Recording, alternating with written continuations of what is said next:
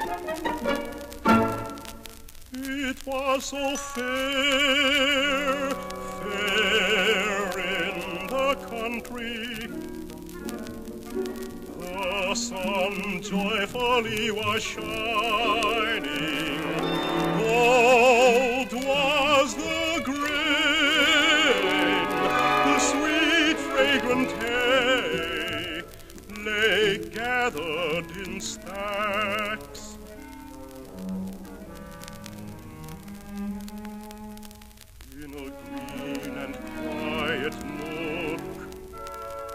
Deep in the reeds, a duck sat hatching her eggs.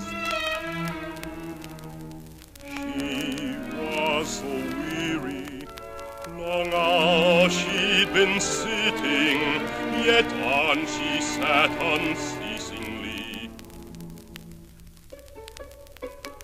All at once, with a crickle and a crack, one by one from the eggs, the ducklings cracked into the world. See the world, see the light, oh how great, oh how bright.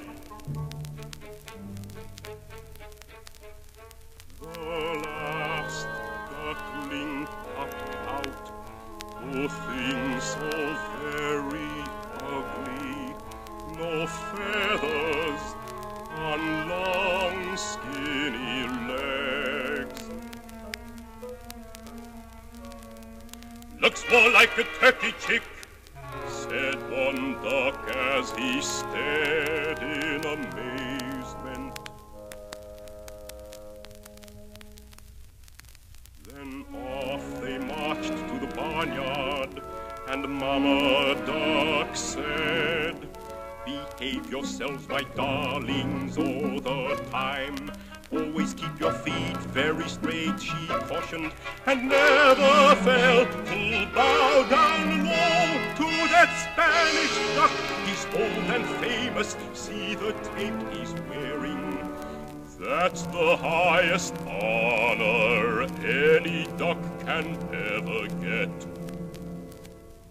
The ducklings bowed respectfully to the Spanish duck. Then quickly they scattered, making friends with the animals living on the farm.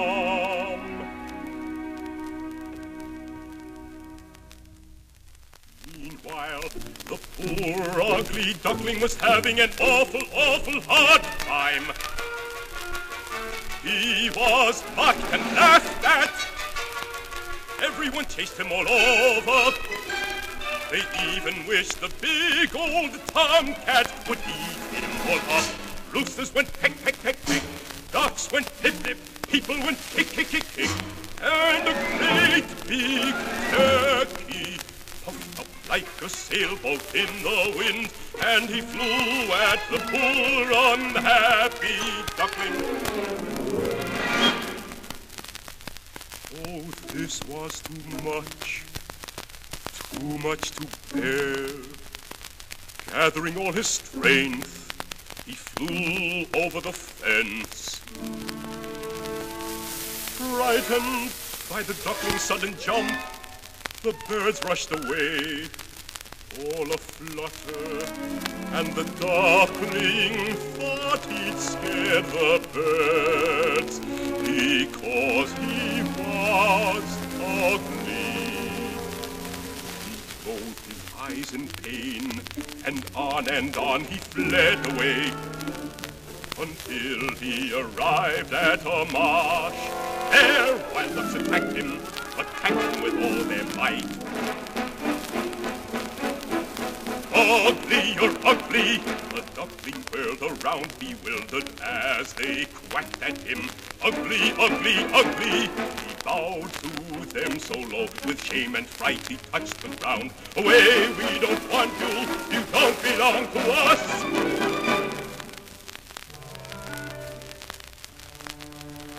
What, oh, what, oh, what could the poor duckling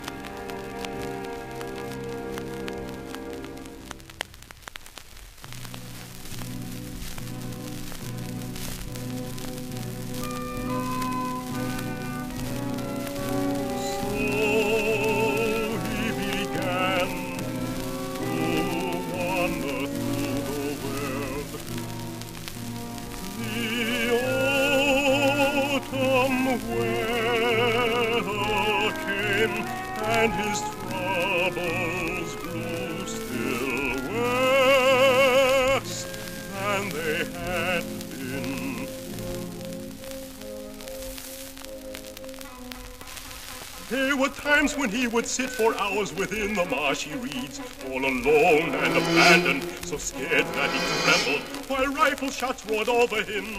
When the hunters hunted through the forest, sometimes the jaws of a dog gaped and stretched so very close that he wept.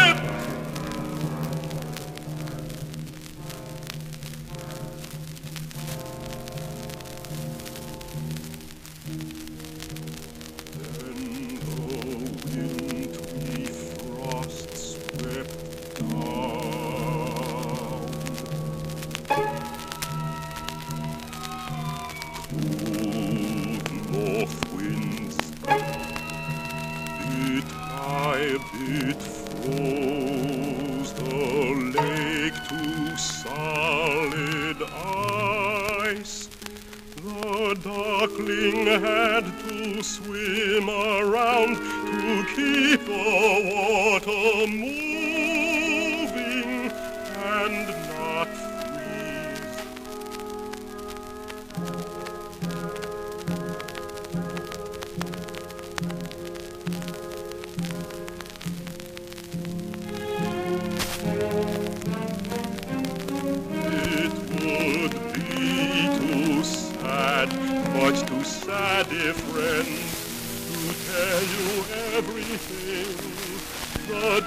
duckling had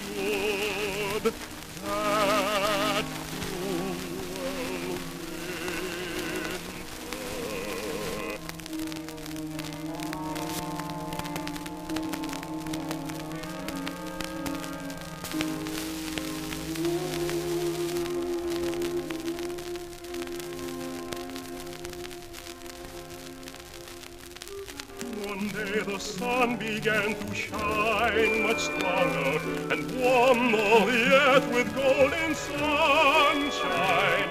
Suddenly all the birds sang, the trees burst in bloom. The spring had come.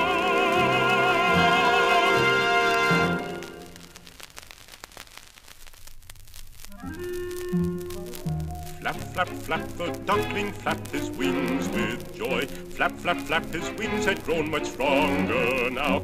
Happily he raised them high and flew over to a garden where the flowers bloomed.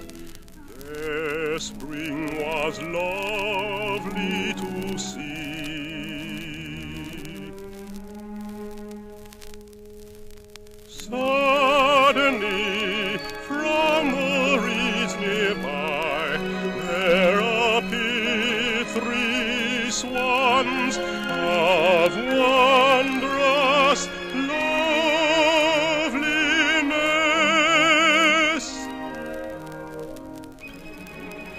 Something drew the duckling to them, something strange and very strong that made him love them as he stood there.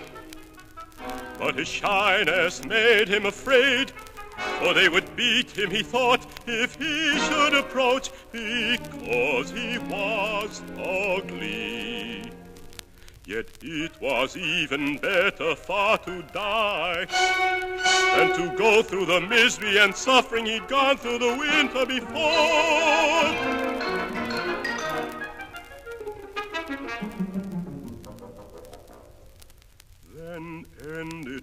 Now, cried the ugly duckling, and lowered his head painfully, waiting for the blow to fall. But what did he see there in the clear water? It was his reflection.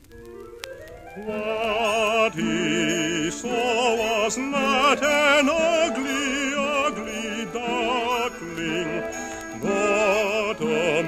lovely, beautiful swan. How unlucky he had been to be born in the nest of a duck when he was a swan. Now the sun caressed him with love, the lilac smiled at him now.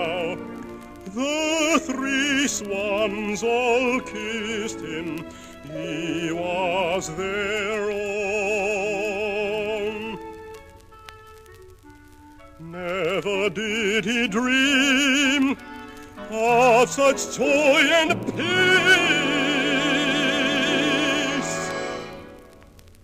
when he was an ugly.